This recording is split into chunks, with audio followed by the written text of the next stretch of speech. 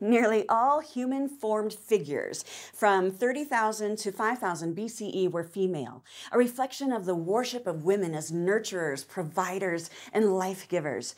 The large belly of the Venus figurines held all of creation. The large breasts nurtured and fed. The sagginess of her body signifies the suckling of the multitudes of life she has created. Everyone notices the importance of her body and we celebrate. Women were revered, women were venerated, goddess worship prevailed. However, does anybody realize that in all of these figurines, the woman's got no face? In some cases, no head at all? Does no one consider that she has no mouth to voice her opinions, no eyes to appraise the world she brought into being?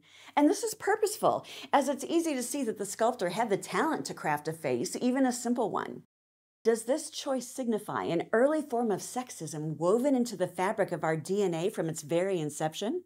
Or is it a testament to the societal structures that have shaped our perceptions since time began? Because even when a figurine celebrates one part of a female, you know, her anatomy, it by default excludes other part of her, you know, her head, her face, her brain. This brings up an interesting question. If you believe in a creator, did that creator create women to have no voice? Let me tell you a story. I was at a picnic once with my husband, and I brought him a plate of food, which I always do. Uh, you know, he provides me with more than I could imagine. It's the least I can do to bring him a plate of food. And this young couple next to us freaked out, as my mother did when she first found out that I did this. anyway, we started talking about how the little things I do for my husband makes him feel like a king. And in response, he treats me like a queen. And so we asked that couple, don't you want that? You know, don't you want to feel like that? And she said, I will if he goes first. And he said, no, I'll go if she goes first. They were afraid to honor each other in case they were taken for granted or used or rejected. But how likely was that going to happen? Someone treats you like a king and you're going to reject them? No.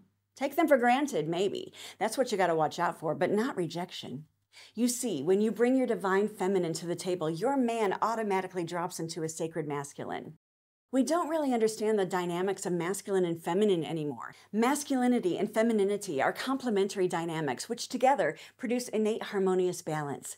When a woman uses her innate femininity, it instinctively puts men into their roles as masculine beings.